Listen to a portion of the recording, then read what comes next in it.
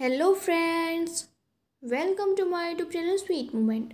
I am here with a new part of Tame.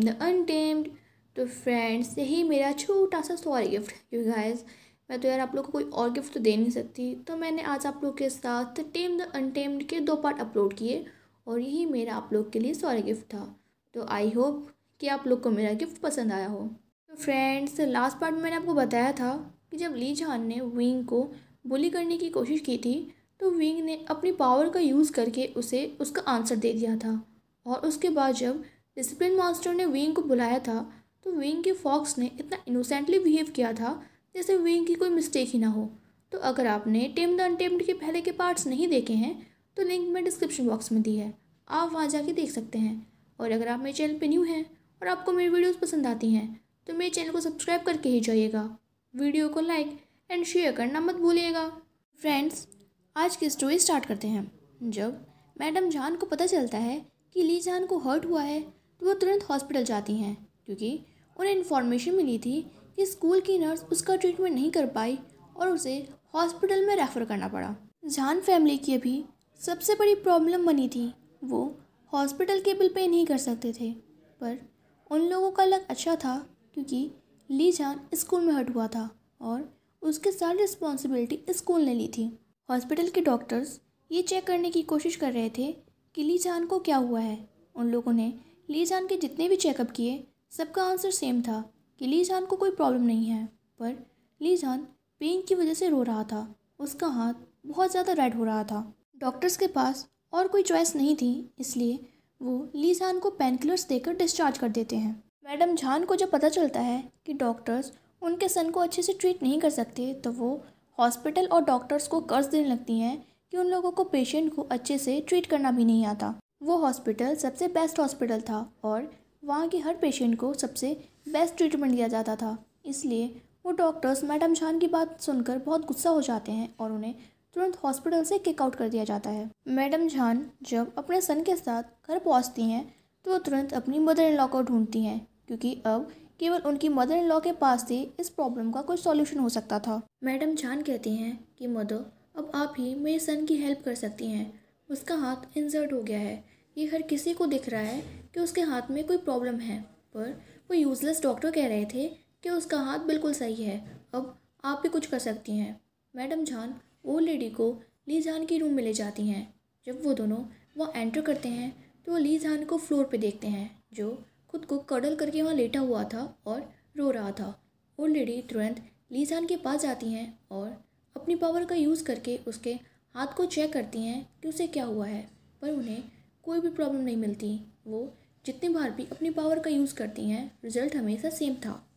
तो फिर वो चैन चान से पूछती हैं कि, चैन चान क्या हुआ है? तुम्हारे ब्रदर के हाथ को किसने टच किया था? क्या कोई सस्पिशियस पर्सन तुम्हारे स्कूल में आया है जो चैन चान के क्लोज गया हो?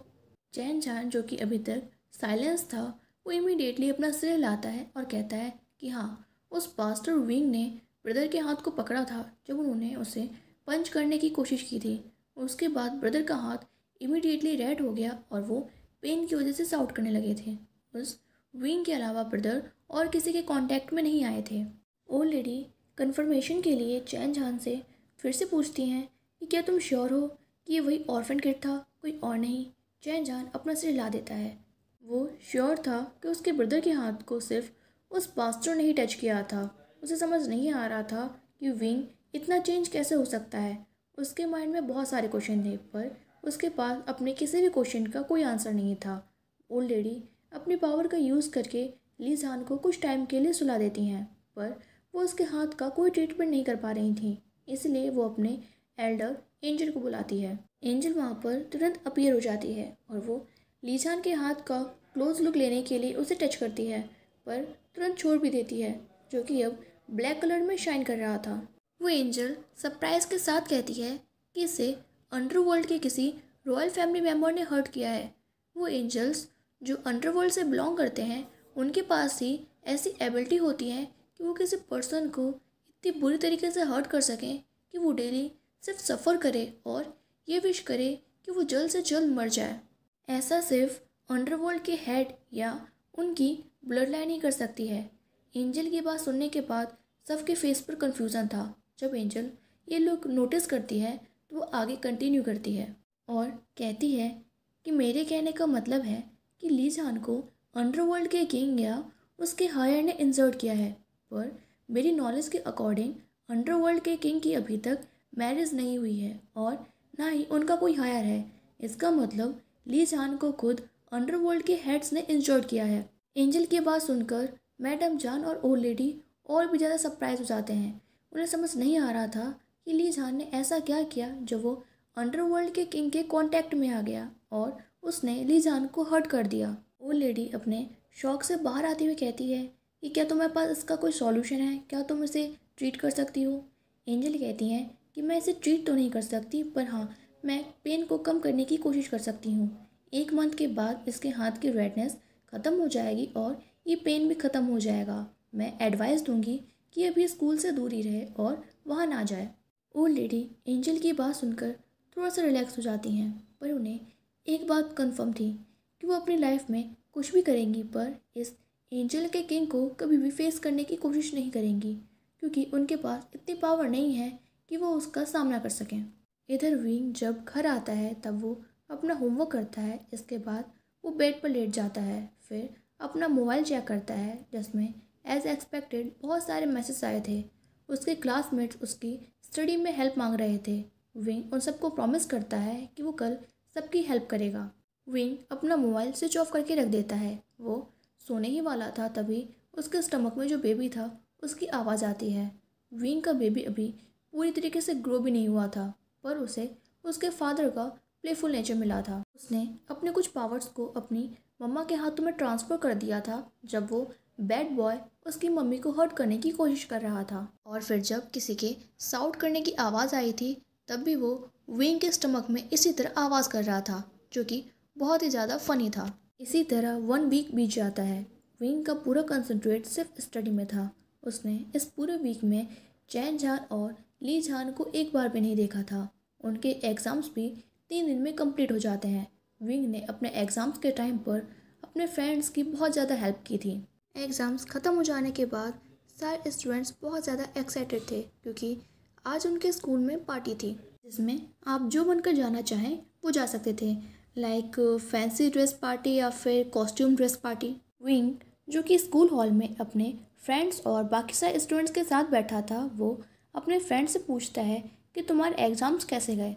हॉल में बहुत ज़्यादा नॉइस थी, क्योंकि सारे स्टूडेंट्स बस इसी बारे में बात कर रहे थे कि वो लोग आज नाइट की पार्टी में क्या पहन के आने वाले हैं।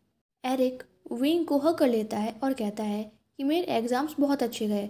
तुमने मेरी हेल्प की, उसके लिए थैंक यू सो मच मैं बहुत लकी हूँ कि मेरा तुम्हारे जैसा बेस्ट फ्रेंड है। विंग के फेस पर स्माइल आ जाती है, क्योंकि अभी उसका friend Eric five year old boy की तरह बिहेव कर रहा था। क्लारा भी एक्साइटेड होती हुई कहती है कि मेरे पेरेंट्स बहुत ज़्यादा सरप्राइज़ होने वाले हैं, क्योंकि इस बार मेरे बहुत अच्छे ग्रेड्स आएँगे। एरिक एक्साइटेड होते हुए विंग से पूछता है कि विंग क्या तुम आज नाइट की पार्टी में आओगे? विंग जिसने पहले से ही डिसाइड कर लिया था कि वो आज की पार्टी में नहीं आएगा, वो अपना सिर हिला देता है, क्योंकि वो इसमें अनकंफर्टेबल था। एरिक कहता है कि, नहीं विंग ऐसा मत कहो। अगर तुम स्केयर्ड हो या तुम्हें एम्बेसमेंट फील हो रही है कि तुम आज की नाइट पार्टी में क्या पहन के आओगे? तो क्लारा स्टाइलिस्ट है, वो तुम्हारी हेल्प कर देगी। विंग सोचता है कि बाकी सारे स्टूडेंट्स के साथ इंटरेक्ट होना कोई बुरी बात नहीं है। ऐसे भी सारे स्टूडेंट्स उसको बहुत अच्छी तरीके से ट्रीट करते हैं। जब से ली झान ने उसे बुली करने की कोशिश की है, इसके बाद किसी ने भी उसके साथ ऐसा कोई बिहेव नहीं किया। विंग कहता है कि, ओके, मैं आज की पार्टी में तुम लोगों के साथ आने के लिए रेडी हूँ, पर मुझे अपने डैड की परमिशन लेनी होगी। और मैं इस बात की गारंटी नहीं दे सकता कि मेरे डैड मुझे परमिशन देंगे या नहीं। क्लारा कहती है कि, डोंट वरी, हम अपने घर रेडी होने से पहले तुम्हारे साथ तुम्हारे घर चलेंगे, तुम्हारे डैड की परमिशन लेने के लिए। इसके बाद विंग और उसके फ्रेंड्स स्कूल से बाहर आ जाते हैं।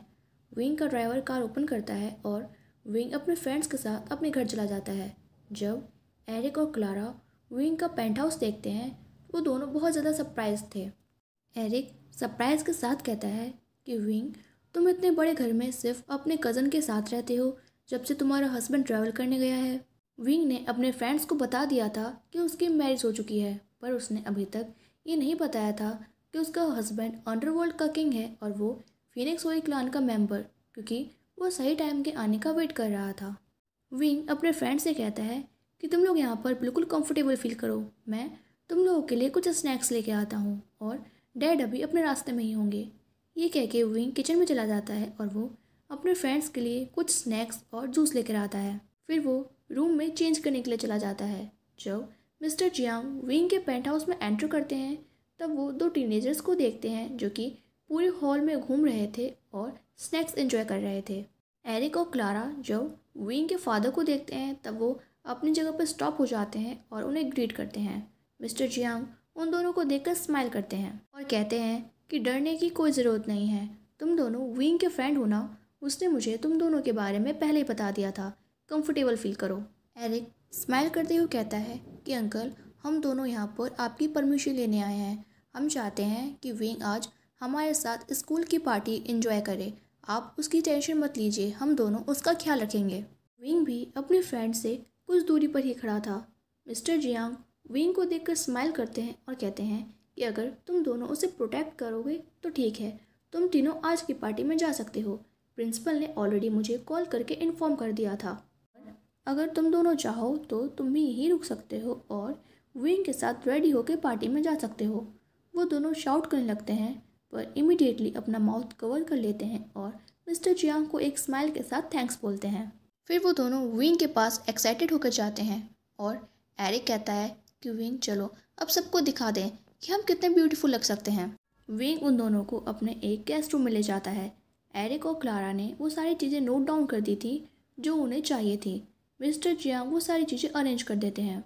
विंग ने डिसाइड किया था कि वो अपने रियल फॉर्म में ट्रांसफ़र होकर ही स्कूल जाएगा और बस वो अपने हेड के फिनिक्स होली मार्क और नाइन टेल्स को हिट कर देगा।